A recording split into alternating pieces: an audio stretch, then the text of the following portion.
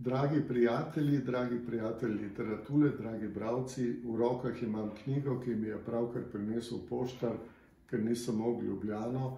In sicer so to eseji o nemški književnosti, o neznancih in posebnežih, ki so med sabo neverjetno povezani. To so majhni eseji o velikih imenih nemške literature, ki so seveda močno zaznamovali nemško književnost in upam, da bodo našli tudi nekako pot do vas in da boste z njimi nekako spoznavali tudi sodobno in staro nemško literaturo. Najlepša hvala.